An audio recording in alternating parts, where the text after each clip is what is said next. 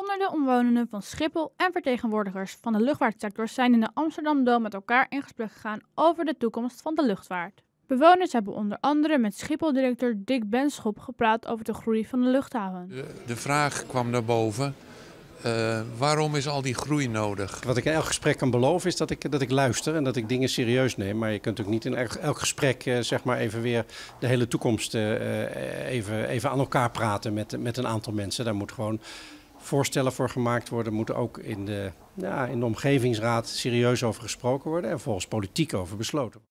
Ook werden de resultaten bekendgemaakt van een online enquête die iedereen met een mening over Schiphol kon invullen. Uit die enquête bleek dat bijna 40% vindt dat Schiphol niet verder mag groeien. Ik denk dat we in eerste instantie moeten stoppen met de groei van Schiphol.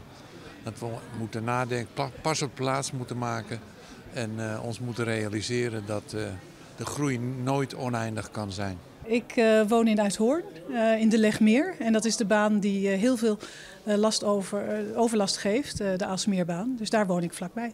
Wat voor indruk krijgt u van deze luchtvaartdag?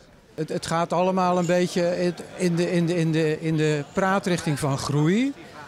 Dat, dat blijft een beetje de, de grondtoon, zeg maar. En dan, en dan mogen, je, mogen we als burgers hier een beetje over meepraten. Ik vind het heel nuttig, want ik vind uh, alle manieren waarop je als bewoner uh, informatie kunt ophalen en ook kunt spreken met de verantwoordelijke, vind ik nuttig. Dus uh, wat mij betreft meer van dit soort luchtvaartdagen. Ook minister Cora van Nieuwenhuizen van Infrastructuur was erbij. Zij moet uiteindelijk met een luchtvaartnota komen waarin duidelijk wordt hoeveel luchtvaartgroei nog mogelijk is. Er zijn geen makkelijke oplossingen meer. Je moet dat toch met elkaar, moeten we dit in het land uh, bediscussiëren. Ja. Hoeveel luchtvaart willen wij? Hoeveel kunnen wij aan? En waar moet dat dan precies plaatsvinden? Dat moet je met z'n allen bespreken en dan moet iedereen zich ook gehoord kunnen voelen.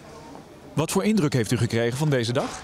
Uh, hele goede indruk. Uh, heel veel informatie gekregen, uh, goede discussies. ja, ik heb er veel aan gehad. Ik ben niet veel wijzer geworden wat betreft het proces van de MER en de, het vervolg van de besluitvorming, want er moet nog heel wat gebeuren.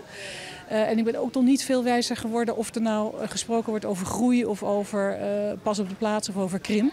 Het lijkt nog wel steeds heel veel te gaan over groei.